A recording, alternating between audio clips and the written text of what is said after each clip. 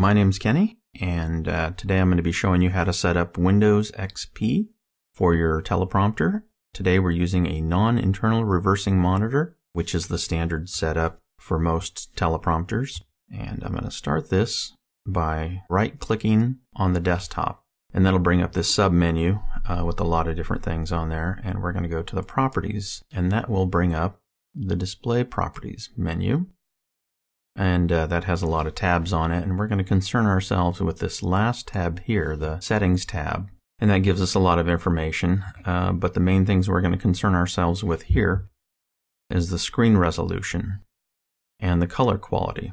We're going to make our screen resolution to be 1024 by 768 by adjusting this slider here and you can see the boxes up above resizing accordingly. I'm going to make that 1024 by 768 and the color quality, we're going to adjust that to be 16-bit.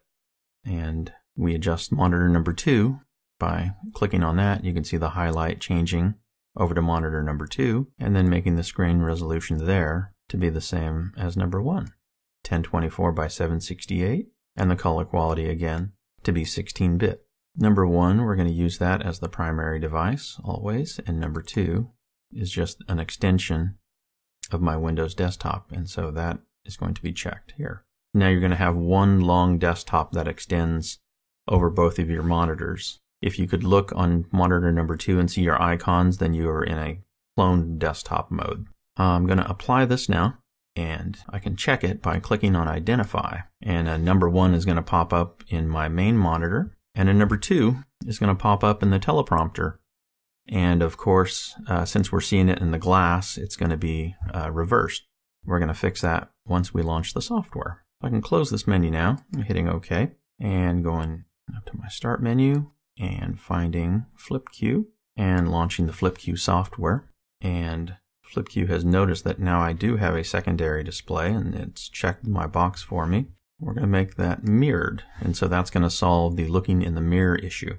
Uh, my primary display is going to be normal. I like using the show cue marker. Puts a little green arrow on the left side of the screen to kind of give you a point where the talent is going to be reading at. If I go up here to the big lightning bolt and put it into the presentation mode, it does a little bit of rendering. The text, I can see it scrolling up from the bottom. If I look in my teleprompter, I'm getting the same image over there. And now when I look at it in the glass, it is correct.